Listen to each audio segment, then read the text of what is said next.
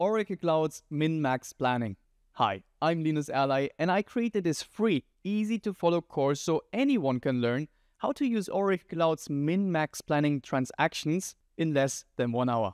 Together, we will walk step by step through how to create min-max planning and perform the min-max planning transactions in Oracle Cloud. And best of all, if you have any questions while taking a training, you can reach out to me directly at any time. So let me show you how to get started right now. Step 1. Go to panameer.com or if you hate typing, click the link below. Step 2. From the main menu, select Learn, then New Courses, then End Users, and click on Supply Chain Execution.